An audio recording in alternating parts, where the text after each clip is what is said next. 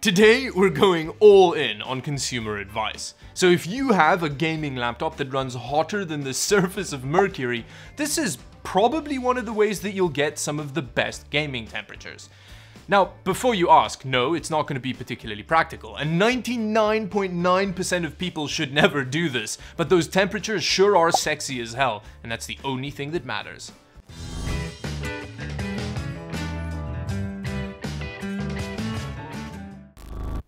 Now, first things first, we need to get a baseline reading of just how bad the temperatures are on this Razer Blade 14 and what the gaming performance is like, so that we can see how much of a difference it makes and just how proud we should be of ourselves. So with that, let's see how bad it really is. With Battlefield 5, both the CPU and the GPU hover at around 90 degrees Celsius, sometimes actually going over 90 degrees Celsius, but then the fans go ham to try and control those temperatures, all of which is a big no-no. After about 10 minutes of running AIDA 64 and Furmark, we're sitting at about 92 degrees Celsius on the CPU and about 86 degrees Celsius on the GPU, and with those core frequencies. So let's open up this Razer Blade and see how much we can drop these temperatures and what kind of overclock we can get.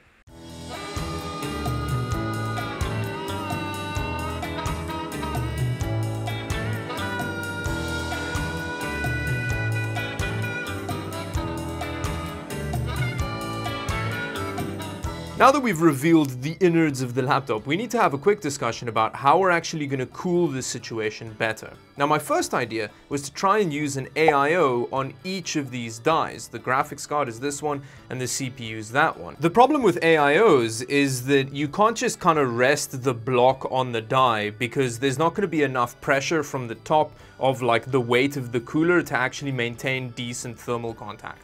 As you can see here, you can get an AIO block down onto the CPU, but you know, there's nothing really keeping it there. So we're probably gonna have to use just normal tower air coolers. Here with the tower cooler, it's, it stays in place and the weight of the cooler pushing down does help maintain thermal contact. But there's so little clearance for two coolers next to each other. So I'm gonna go get another small-ish tower cooler and then see if we can actually fit them next to each other on this laptop. Now this is the other cooler that I thought about using, but as you can see here, it's got these big ears that mean that it doesn't it doesn't quite fit in there. So I'm gonna see what other options I have. Now this Reeven Justice 2 space-wise just fits on there. The problem is, it's not very stable, like it falls over really easily. That CPU die is actually a really stupid shape, so it means that it's a really unstable base for these coolers. Now this is starting to look really stupid, which means we're slowly getting close to a solution.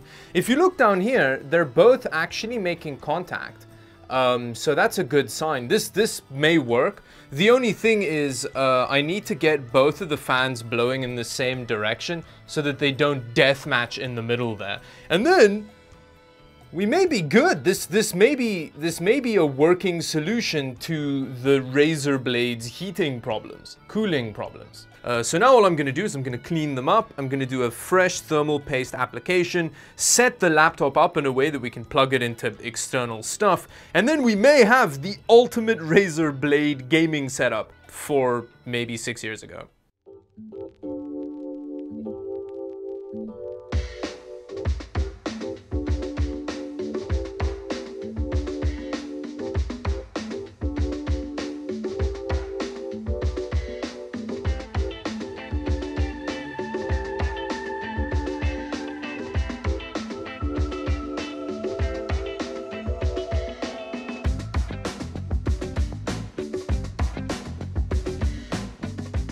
Getting very close to the point where we can actually switch on this monstrosity. Now, I just want to make it clear again, this is not a good idea and you really shouldn't try it at home. There's a bunch of metal close to things that can short out down there and you could very easily destroy your laptop. Although, I did try my best to make sure that nothing's touching anything that'll short out. Um, but yeah, it, it's looking okay. We've got decent looking contact. I did actually end up taping the two coolers together because they were leaning away from each other like this. So now they're nice and secure on their respective dies. And then on this side, I've got a Noctua NF-A12 that's just blowing onto the actual motherboard uh, to help cool like the power delivery and the, the memory modules down there and stuff.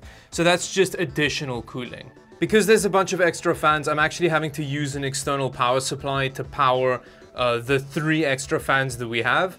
Uh, yeah, so that's probably not going to impact portability too much. Um, I guess now's the moment of truth. It is going to be very precarious getting to the power button because it's in the middle of the laptop, so I'm going to... This isn't going to be a fun process, but let's see if I can get it on without knocking the whole assembly down. Oh, it's not plugged in. Oh, I'm so dumb. Oh, I think we got it. Yes, we do. So we've just started and we're sitting at about 73 degrees Celsius already on the GPU. So it's it's definitely running cooler than it was before, but it's actually not as cool as I thought it would be. When I push down on the cooler, the temperature drops by a good 10 degrees. Look at that. okay, so there's clearly a mounting pressure issue. So what I thought is maybe if I just drop like this on there. okay, apparently that's not enough weight. Uh, let me let me go find someone else. Because again, just look at that. Look at that temperature drop. Holy crap. Okay, I need to find a way to mount this better. Because if I let it go, it just rockets straight back up. Okay, um, wait, is it just if I lean it back? Okay, actually all I need to do is I need another bit of tape and I just need it a bit tighter. This is terrifying to do while this thing's running. Like if something falls over, it could kill the, the laptop. So again, this is a really bad idea. Okay, so I'm gonna just lean the cooler back.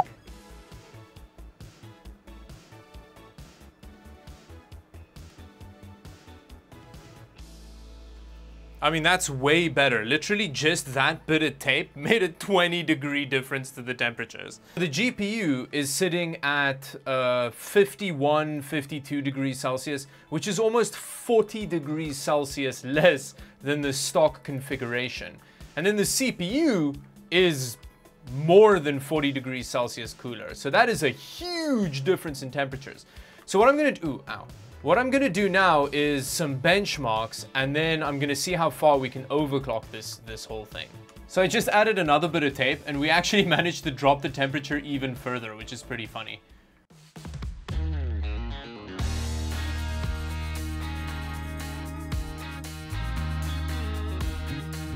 That didn't seem to help the gaming performance that much. These results were pretty much within the margin of error, although the 1% lows for both of the games were better, and that does make sense, because we're not running into thermal limitations here, there's a more stable core frequency, which leads to a more stable frame rate.